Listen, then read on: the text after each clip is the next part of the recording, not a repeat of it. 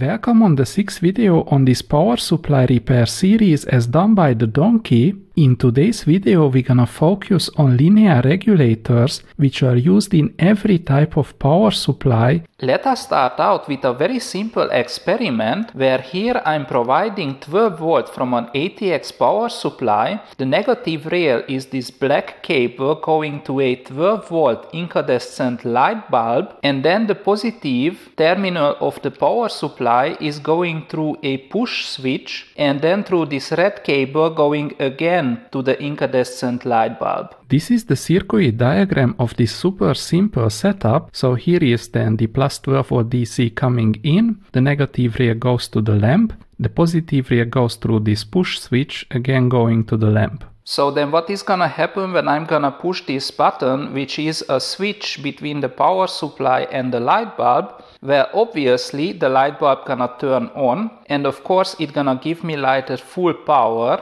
since the power supply is 12 volt rated and also the lamp is 12 volt rated. Here is the circuit after we have pushed now this power button. As you see there is clearly a current flowing through the circuit and that is because if we would measure the voltage on the terminals of the lamp, what we would find is that there is 12 volt DC here being applied just as the one what we are feeding in from the power supply. This current causes the filament to heat up and and this heat then gonna emit light. Now then what is gonna happen when I release this push button? Well obviously the light gonna go off of course, you may ask, what was the point of this experiment? Come on, that was really, really simple. Well, I told you it is simple. However, if we pay a little bit more close attention to this experiment, you might have been able to notice that after I push down the button, the light does not come on with full brightness right away. Also, when I release the button, it takes a little bit of time for the filament to cool down, so it still emits light even after I have released the button and there is no power going through the circuit. In order to show you this effect, I'm gonna repeat the experiment and now pay really more close attention to the filament and to the switch. So after I push it down, it takes a fraction of a second to fully heat up. Now I'm gonna release the switch as you see, it takes also a fraction of a second to cool down. And this delay is due to the heat or thermal energy. And as I will show you, this small delay is the one which allows us to use the basic idea behind pulse width modulation. Okay, after this experiment, let us go back to the simple circuit diagram and let me ask you a question. Namely, what would you change in this circuit in order to make this bulb give only half the amount of light instead of the current full power? And I can hear your thoughts. Some of you might have said, well, if this is a 12 volt lamp, then we're just gonna change here the power supply and we're gonna provide 6 volt DC instead of 12 volt, so we're gonna get half of the light output. Which is, yeah, it's a valid solution. However, in real life, most of the time we cannot really change the incoming power voltage. Instead, we need to do some other trickery. So practically we have established that we cannot play around with the incoming voltage, so what else would you change then? And I can again hear your thoughts, namely most people most probably said, well okay, we then gonna include an extra resistor in series with the light bulb after pushing the power button there will be a current flowing through the circuit which is shown here by this green arrow and due to this current flow there will be a voltage drop on the resistor and of course a voltage showing up on the terminals of the lamp. If we would calculate the value of this resistor such that there is a 6 volt drop on the resistor, meaning that we dissipate half of the power on the resistor, so that there is only half of the power left for the lamp, we would get only half of the light output coming from the lamp. We can see that this idea is totally valid and it totally works and that is what we call nowadays a series regulator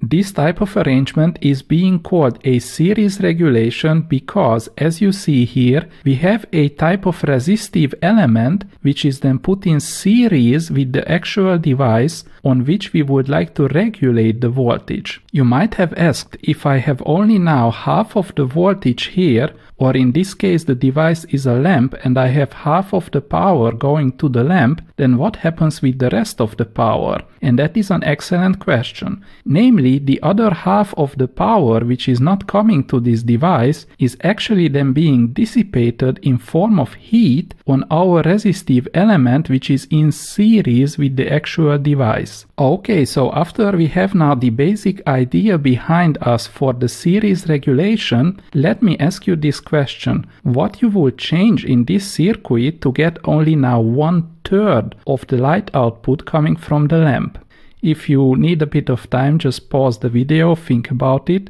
then I will proceed now further. So to get only one third of the power, we can do the simple math. One third of 12 volt means that we're gonna need to pump in only 4 volt coming to our lamp so the rest of it will need to be dissipated on our resistive element. So this means 12 volt minus 4 is equal than 8 volt DC. So this 8 volt DC will show up on the two terminals of my resistive element. And now when I multiply these voltages here with the current which is flowing through the circuit, then I would be able to calculate the real power which is then being dissipated on the resistive element and which is going to my actual device. Since this resistive element is in series with my actual device, it means that this current which is flowing through the circuit will be the same over the full circuit no matter where I measure it. For the sake of simplicity, let us assume that there is 1 amp of current flowing through this circuit here, which of course makes the math rather simple. So it will mean that if I multiply now 8 volt with 1 amp, that is 8 watt is being dissipated in form of heat on my resistive series element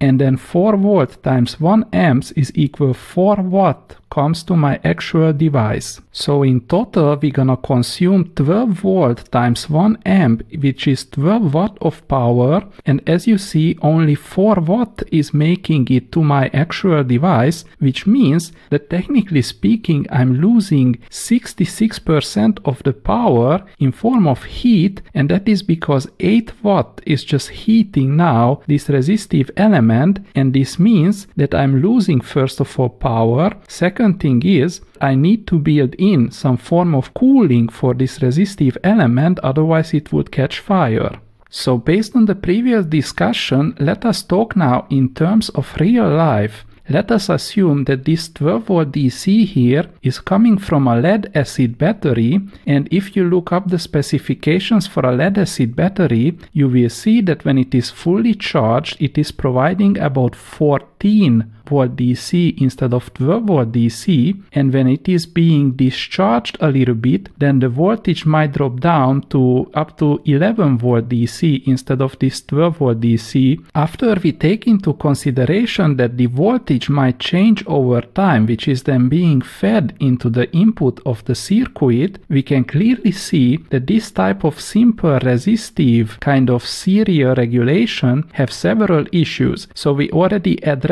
that first of all, we are losing lot lots of power and we are losing this power in form of heat. So we're gonna need cooling of this element. That is one of the major issues. The second major issue is related to the fact which I just mentioned Namely, over time, the input voltage might change slightly, and this slight change will totally mess up our calculations of this resistor here, and that is because if we calculate the value of this resistor now based on the maximum voltage when the battery is fully charged as an example, then everything is good for a while, and then our device will no longer work. In contrary, if I calculate the value of this resistor for a somewhat depleted value of the battery voltage, then when I will fully charge up the battery, then my device gonna burn up because it is receiving way too much power. The most hand-waving solution for this problem would be that we need to then change the value of this resistor such that we compensate for the change of the incoming voltage so that our device always receives the same amount of power. This means that here we actually need to use a somewhat specialized so-called variable resistor. Before we go into the transistor and high power applications, we need to mention that actually for low power applications we use a somewhat different solution we're gonna pick here a fixed value of this resistor and in addition to the resistor we also gonna use an extra element namely a Zener diode. A Zener diode is a special type of diode and by the factory they are able to tune these Zener diodes such that they will make a specific voltage across the anode and the cathode electrode whenever they are so-called reverse biased as you can notice from this diagram, the Zener diode is put in parallel with my device in which I would like to regulate the voltage to a specific value and practically this means that I can just go to a catalog and out of a catalog I can search for a specific Zener diode with a specific Zener diode voltage then this Zener voltage will be the one which will appear on my device and then this voltage here will be really stable even if I change the input voltage and that is because the extra power will be dissipated on this fixed resistor just as what we discussed earlier and the Zener diode will take care that the voltage is always stable. As I have already mentioned to you this Zener diode with a fixed resistor is only working for low power applications and that is because factories are not making Zener diodes above 3 or 5 watt or so and even those are considered to be high power Zener diodes and they are very pricey so it means that whenever I need more than 3 to 5 watts of power on my device then I clearly need a completely different type of solution.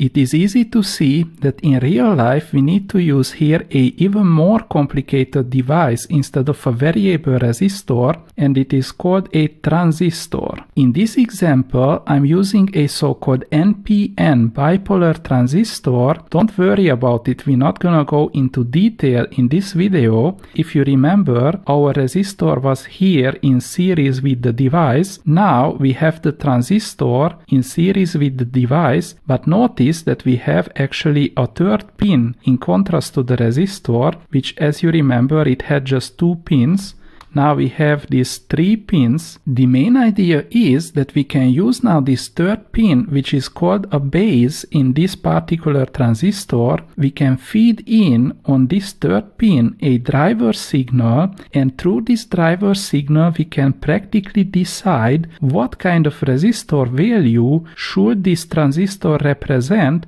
So at the end of the day, the transistor here is nothing else but a resistor where the resistor value changes as a function of the base driver voltage. So now if we would try to do the same like previously we did with the resistor, so to get only one third of the power going to our device, we just need to set up this driving signal going into the base of the transistor such that the equivalent resistor which shows up here between these two other pins, which are in parentheses by the way are the collector and this one here is the emitter in the case of a bipolar transistor what you see here, the resistor value, which will then show up here, is equivalent to a resistor that the voltage drop will be 8 volt, just like previously when we had here a simple resistor. This means that if our supply voltage here changes a little bit over time, all what we need to do is just simply change the driving signal here according to the change in the supply voltage such that this drop here between the collector and the emitter electrodes is then compensating for the change in the input voltage. So if the input voltage as an example will increase to 14 volt, then all what we need to do is that we just need to drop here 10 volt, whereas if the input voltage decreases to 11 volt, then we need to drop here this voltage to 7 volt instead of 8 volt. And since we have here this driver signal, we can easily change this over time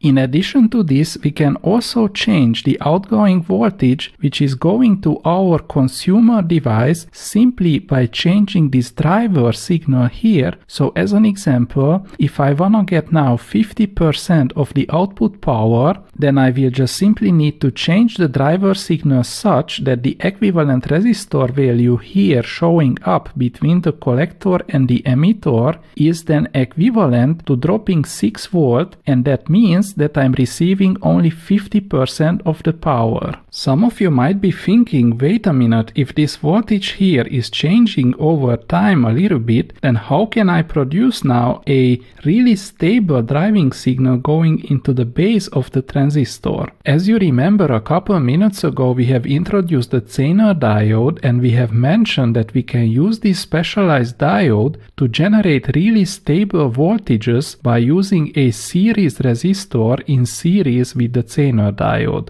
Due to this arrangement,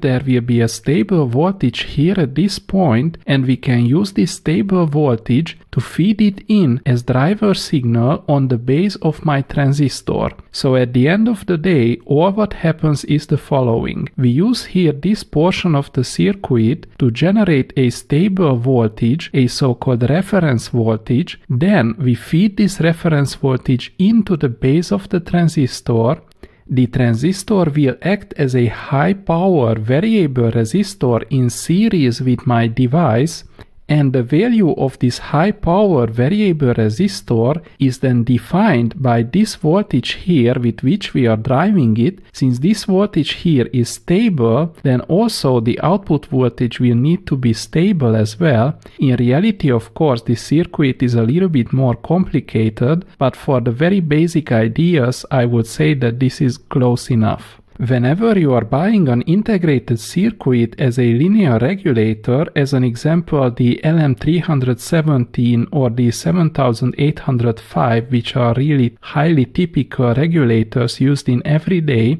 then you're gonna have three pins of such regulator integrated circuits and now if you would open somehow that integrated circuit, that is exactly what you would find inside. Roughly, you would find a voltage reference with a really stable Zener diode in addition to this voltage reference, you're gonna also find a high power transistor, which is then physically attached to the heatsink of the 3 pin devices, and the 3 pins gonna be then equivalent to the power input, like here, the second pin with the power output, and finally you're gonna have a third pin where you need to feed in the ground, as I have just showed you, by using a transistor as the serial regulating element instead of a single resistor, we can solve one of the shortcomings of the serial regulation, namely, we can simply adjust now this resistor value by adjusting the incoming signal. Although we solved the second problem, I need to remind you the first problem was related to the amount of power what we lose in the form of heat. So first of all, losing power is no good because we need to pay for the power. Second issue is that we need to extract the amount of heat